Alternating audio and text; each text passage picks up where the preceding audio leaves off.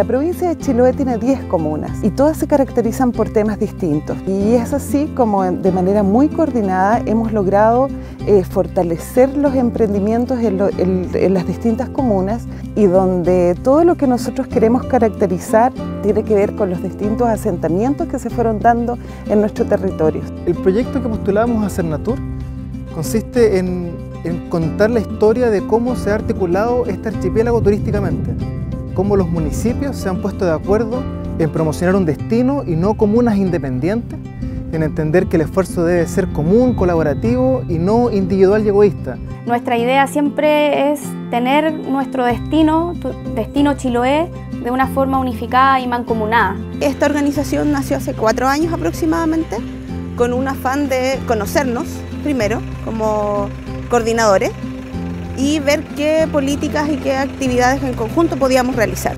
De los 10 municipios de Chiloé, eh, ya existen nueve municipios que tienen encargados de turismo, que son la mayoría del área de profesional de turismo. Del 100% de los coordinadores que hay en la provincia somos profesionales del turismo.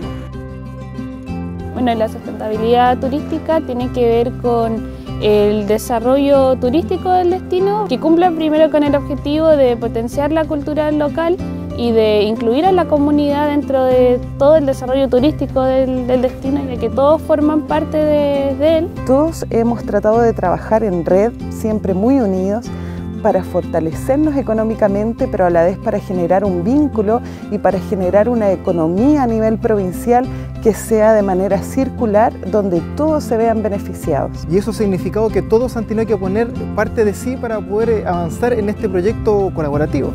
Bueno, el hecho de que Cernatur pueda mm, unificar todas las experiencias a nivel nacional eh, es enriquecedor para todos nosotros. El turismo no es solo para el que viene de afuera, el beneficiario último es el turista, el primero es el local.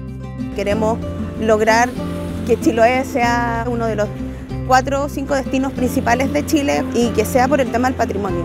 Entonces tienes desde la naturaleza más prístina hasta una cultura ancestral.